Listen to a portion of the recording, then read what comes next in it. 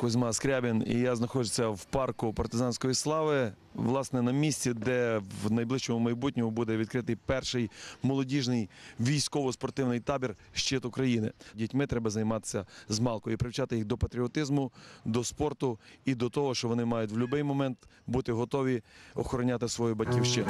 Бувай, що всі люди дерева. Не я бачив, як дерева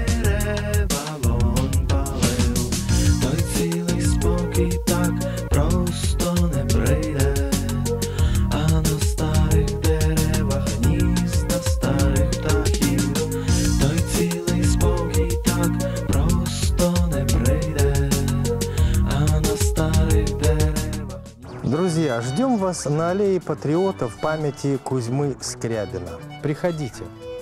Каждый из вас может посадить дерево памяти.